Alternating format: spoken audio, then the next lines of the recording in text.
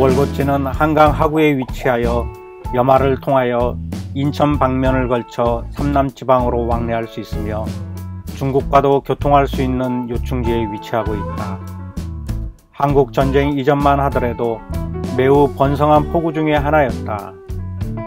원래 교동에 있던 진을 조선 효종 7년에 강하유수 홍중보가 이곳으로 이전하였다고 한다. 월곶진 주변에는 월곶 본대와 황영택지, 연미정 등의 유적이 있다. 주변에서는 상당량의 기와편과 자기편 등이 발견되고 있다.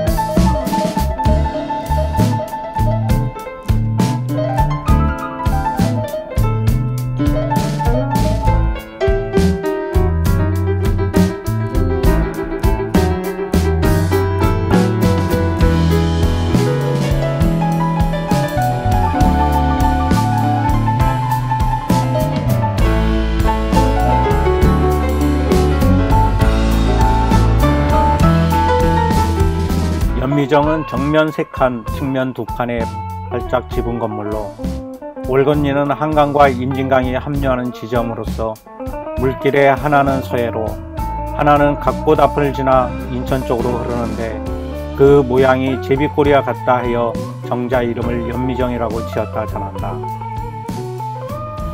이곳은 강화 10경의 하나로 손꼽히는 자리로 절경을 이루고 있으며 연미정에 오르면 북으로는 개성군과 파주시, 동으로는 김포시가 한눈에 들어온다. 옛날에는 서해로부터 서울로 가는 배가 이 정자 밑에 닷을 내려 조류를 기다려 한강으로 들어갔다고 한다. 정자는 높다란 주초석 위에 서 있으며 정자 양쪽으로는 수백 년 묵은 느티나무 두 그루가 웅장한 자태로 정치를 더해주고 있다.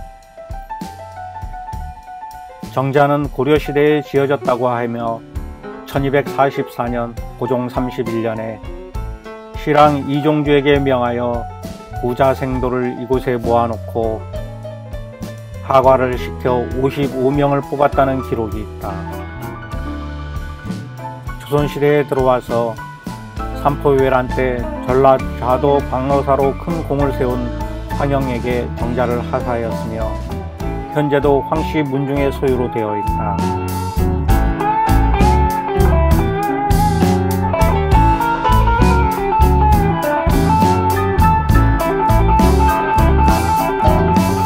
강화도는 고려와 조선에 걸쳐 약 천년간 수도권을 지키는 최고의 보루였다.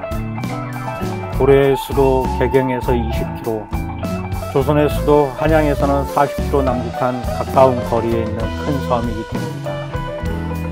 육전이 대세이던 시대의 섬은 천연 요새였다. 강화도는 유적과 유산이 넘치는 역사의 섬이면서도 자연 경관이 다채롭다.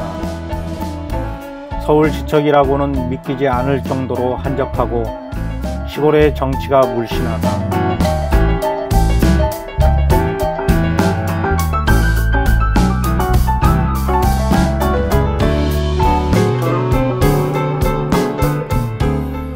오늘 소개한 곳들 외에도 다양한 유적지들을 하나씩 찾아가면 좋은 역사 기행이 된다.